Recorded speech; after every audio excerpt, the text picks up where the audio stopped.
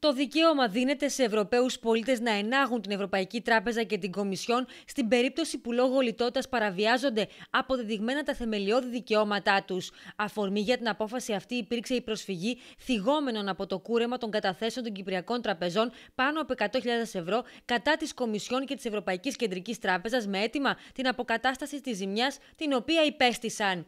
Και ναι, μεν το Ευρωπαϊκό Δικαστήριο θεώρησε ότι τα μέτρα αποσκοπούσαν στη σταθερότητα του τραπεζικού συστήματος και υπηρετούσαν το κοινό καλό της Ευρωπαϊκής Ένωσης και καλώς ελήφθησαν. Αλλά παράλληλα, οι δικαστές αποφάνθηκαν ότι είναι καταρχάς δυνατόν να ζητηθεί αποζημίωση από την Κομισιόν και την Ευρωπαϊκή Τράπεζα εφόσον παραβιάζονται θεμελιώδη δικαιώματα των εναγόντων. Αυτό σημαίνει ότι οι πολίτες σε χώρες όπου έχει επιβληθεί λιτότητα μπορούν να επικαλεστούν την ιδιαίτερο σοβαρή βλάβη της υγείας τους σε περίπτωση κατά την οποία δεν μπορούν να προμηθευτούν τα αναγκαία φάρμακα, για παράδειγμα.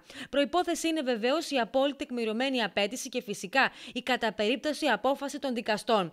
Συγκεκριμένα όμως στην περίπτωση των καταθέσεων των Κυπριών, το Ευρωδικαστήριο αποφάνθηκε ότι λαμβανομένου υπόψη του σκοπού της διασφαλίσεως της σταθερότητας του τραπεζικού συστήματος, της ζώνης του ευρώ και του άμεσου κινδύνου οικονομικής ζημίας, τον οποίο θα διέτρεχαν οι καταθέτες των οικείων δύο τραπεζών σε περίπτωση πτωχεύσεως αυτών, τα εν λόγω μέτρα δεν συνιστούν υπέρμετρη και απαράδεκτη παρέμβαση, θίγουσα την ιδέα, την ουσία του δικαιώματος ιδιοκτησίας των αναιρεσιόντων. Κατά συνέπεια, δεν είναι δυνατόν να θεωρηθούν ως αδικαιολόγητοι περιορισμοί του εν λόγου δικαιώματος.